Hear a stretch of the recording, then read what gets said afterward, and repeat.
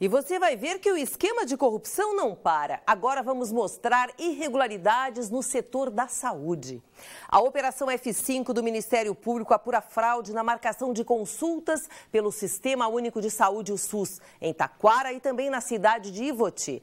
Na manhã desta quinta-feira foram cumpridos mandados de busca e apreensão em residências e postos de saúde das cidades.